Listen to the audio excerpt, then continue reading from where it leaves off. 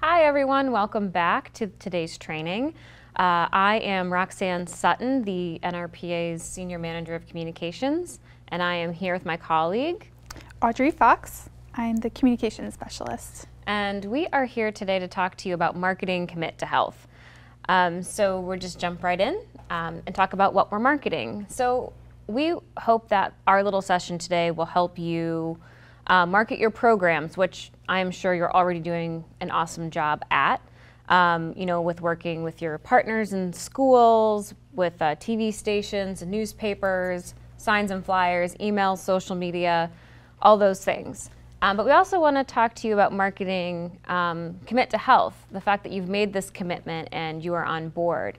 Um, it's a little bit different, and you know, in a lot of ways, if you're marketing your commitment, you're also marketing your programs. Um, so first, I want to talk about how your commitment is unique.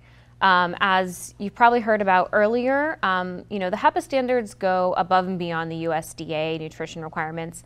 And, you know, there are no HEPA requirements for out of school time programs, even um, if they're licensed. So, you know, not everyone is doing what you're doing. Um, and it really differentiates you from others in your market. So just as a personal example, you know, I have children, they go to daycare, and while, you know, I'm promised healthy meals and physical activity time, um, they don't have a set policy around that. There's nothing that they can show me that says, yep, your kids get, you know, these are our food policies and these are our physical activity policies. And so the fact that you all are promising to do that at your sites, like that is amazing. And that really does set you apart from other people. So let's talk about different ways to market. Um, some of these will be familiar, obviously.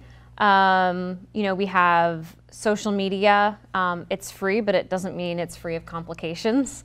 Um, and we'll dive more into that one in a minute. Email. Hopefully, you know, either you as a department have your own email newsletter system or your city or municipality has an email newsletter system that you can use. Um, my advice here is always that, you know, always make sure you have permission to email those who are on your list um, and then just put out the best stuff that you can. Um, the media, I know that just because I see the in our own searches for press coverage around parks and recreation, you guys are rock stars at getting media coverage for your programs. So I won't dive into it too much, but you know, the media really is interested in the things that you're doing. I mean, the fact that you have either if you are one of our grantees, that is media worthy in itself. Um, you know, your programs opening, um, your celebrations, your milestones, any of it. It's very interesting um, and your community is interested in what you're doing. So, you know, build those relationships, reach out and use the ones you already have.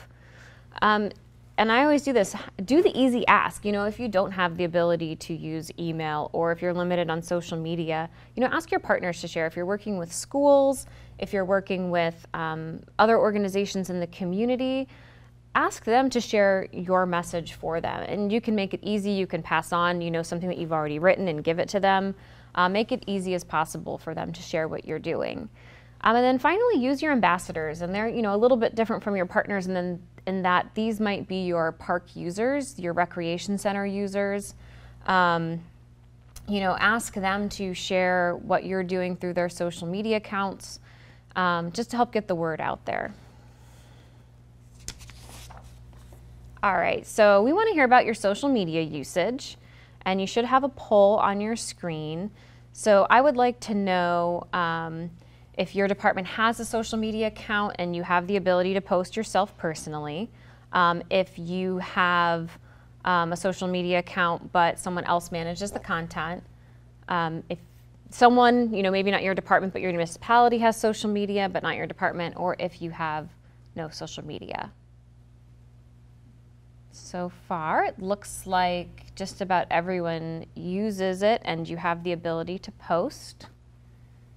And we'll give it just a couple seconds to go through. Well, that's great. So then that means all of our tips and advice will uh, be perfect for you guys. Um, all right. So let's talk about what to share on social media because this can be just as confusing as anything else um, photos of your everyday program activities. And then here's my caveat to where I said social media is free, but it's not always free of complications. Obviously, if you're taking pictures of those in your programs, you need to have photo release forms. Um, most of you know that standard procedure, don't even have to get into it. Um, but if you are a grantee, then you know that you should be using the Walmart photo release form. Um, and if you are not a grantee, hopefully you have one that your city or your department uses. But if you don't, we do have a sample one that we can share, and all you need to do is email us, and we can send you a good um, example of one that you can use in your program. Um, and only obviously post photos of children or kids that have release forms. Um, but yeah, of your program activities, all the um, programs that people have talked about today, um, activities that you're doing. Those are great things to share on social media. Um, photos using the Commit to Health resources. Um, Audrey's going to show some examples of this, but there are, you know, we have so many resources for this campaign, which is great. Um, you know, show your kids using those resources, show the resources themselves. They're interesting. You know, I think, again, just using a personal example, I would love to see um, the things that my children are using throughout the day um, when I'm not there or after school. And then, you know, brag about your success. I mean, not just your success personally, but the success of this whole campaign. Um, you know, we have our four year anniversary stats and an infographic. If you go to the webpage that we have on the slide, there's resources there that you can use to kind of just brag about our overall success as a whole and as a community as, of park and recreation professionals. Um, but obviously, any, any personal success that your department has is a perfect thing to share on social media. And again, if you aren't the person who manages social media, just you know pass on this information to them as well. Um, and I will say that from people who manage social media for NRPA, uh, we really like it when other people within the organizations share stuff with us to share. It makes our jobs easier. So don't feel like you're bothering that person. They really appreciate getting the information and photos and things to share. Definitely. Um, so yeah, the commit to health resources. Um, they provide great regular content to share with your networks. There's posters and newsletters and curriculum. Um, there's the Commit to Health research that's been done. Um, videos, there's um, those new Foods of the Month recipe videos that are really cool that you can share with your audiences. Um, infographics, success stories, blogs, and a newsletter. So that's just a sampling of the resources you can share. Um, but now I'm going to pass it on to Audrey, who's going to talk about hashtags and tracking your campaigns and some tools that you can use to kind of spice up what you're doing? Sure.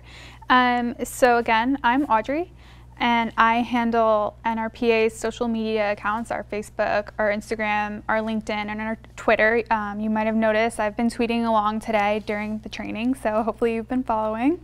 Um, one of the most important things that we ask you to do is use the commit to health hashtag. It's really easy to do. Um, we use it every time we talk about the program, um, and it's really great for amplifying your message. Um, so it ties the message together, and it is a really great way for me to be able to see what you're doing, and it's easy for me to see, you know, you had this awesome event, so I, I see that, I heart it, or I retweet it, or I share it on Facebook or Instagram um, because I saw that you used the hashtag. Hashtags are best used on Twitter and Instagram just because it's easier to um, it's easier to search for the hashtag on there. People don't use hashtags as much on Facebook. Um, so definitely stick with Twitter and Instagram for your hashtag usage. Um,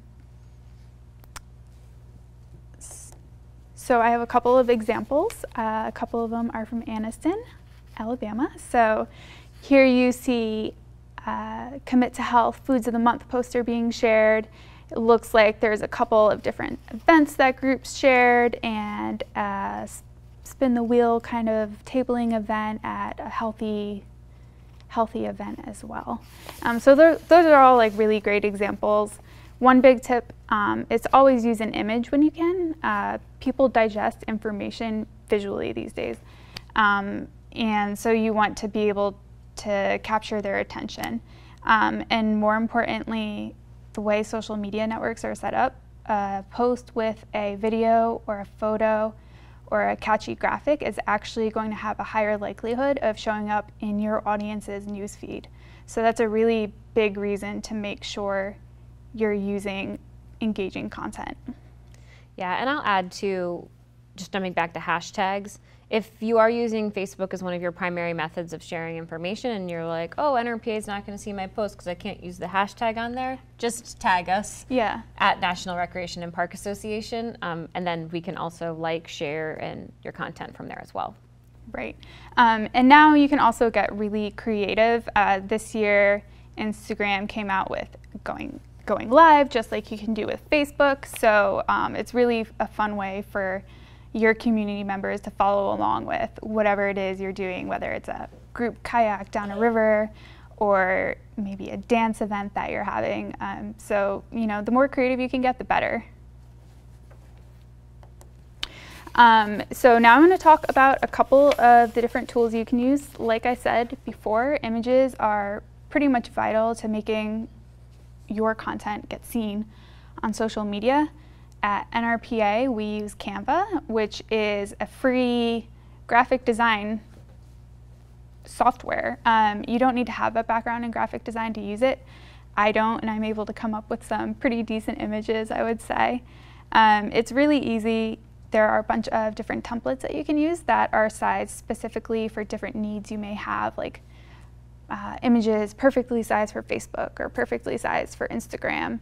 Um, you can even uh, make your own templates. So if you have a need for a certain sized image for maybe like a postcard or a poster that you're creating, you can also create that. Um, there are stock images in Canva and you can upload your own images as well. And then there are options to add shapes and overlays and text. So you can really get creative and come up with something very good looking. Um, when you're creating an Im image on Canva and you want to add text over a photo, it's really important to make sure that the background, that the photo isn't too busy. Um, if you put text on a very busy looking photo, it's just going to get lost in the lost in the photo. So try adding a shape behind it, like a rectangle, um, and using that as a match so the eye goes to the text that you want to highlight.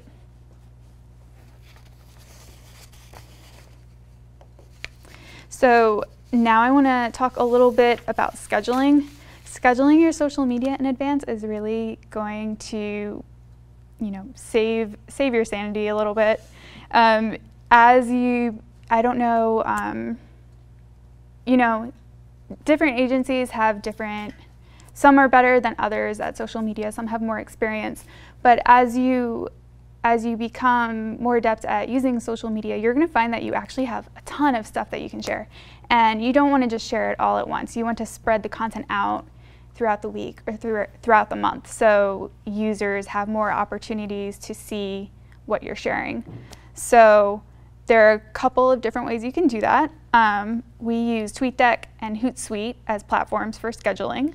TweetDeck is specifically for Twitter, and Hootsuite has compatibility with more social networks than, than TweetDeck.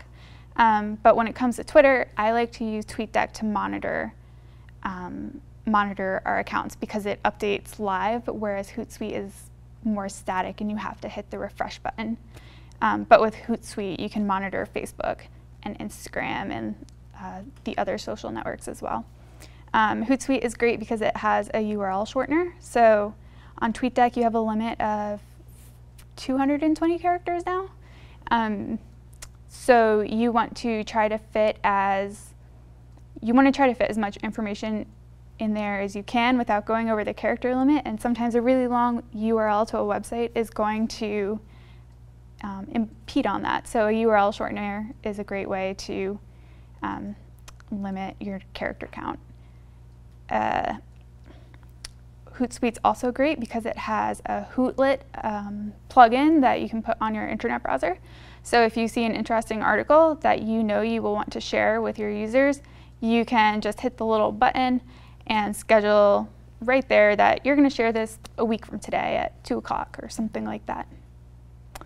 Um, Facebook also has its own mechanism for scheduling posts. I personally like to schedule posts directly on Facebook just because I have more luck with how the images turn out. Um, sometimes on Hootsuite, I found that if I have an image preview that's scheduled on Hootsuite, it might look a little bit different once I actually once it actually goes up on Facebook. So I personally like to use Facebook for scheduling Facebook posts. Um, as far as you know, looking at your overall picture of your social media planning for the week or the month, um, you need to get a calendar. So you can use your Outlook calendar. That's what we use. I have an Outlook calendar that the whole department can see. So we know that, you know, on Tuesday, I'm going to share uh, share something about the commit to health training that's happening on Thursday.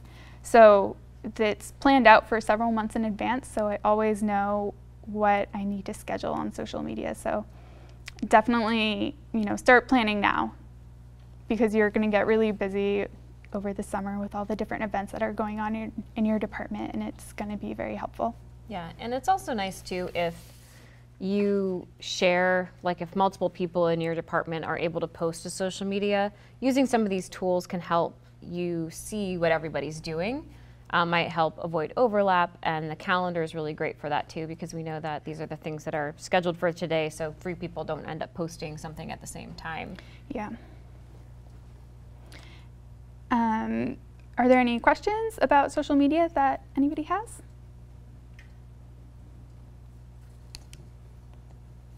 All right, well, if you have questions, here is our contact information.